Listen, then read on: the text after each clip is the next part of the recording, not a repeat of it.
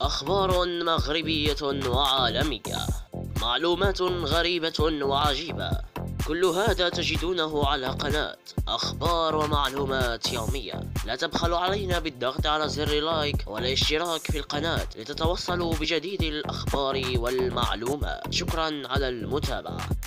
مصرع تلاميذ وإصابة آخرين في حادث سير مروع. لقي شخص المصرعة فيما أصيب العشرات من التلاميذ بجروح متفاوتة الخطورة. إثر حادث تصادم سيارة من الحجم الصغير مع حافلة للنقل المدرسي قرب السوق الأسبوعي.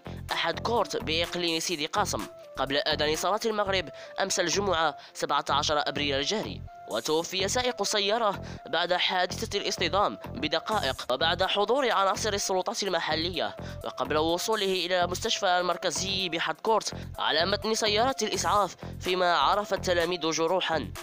وصفت بالطفيفة.